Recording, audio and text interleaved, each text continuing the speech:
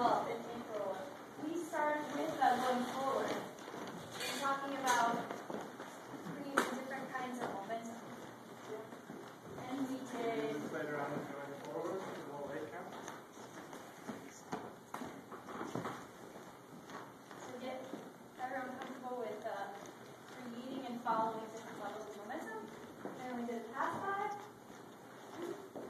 Or, sorry, this is wrong.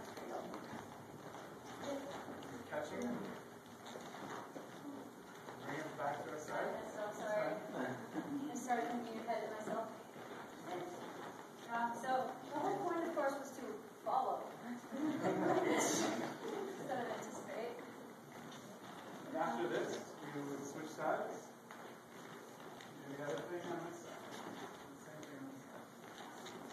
And guys have to learn how to use their body as well to dig into the rock step to change the direction. And we added the turn. And sit on the other side.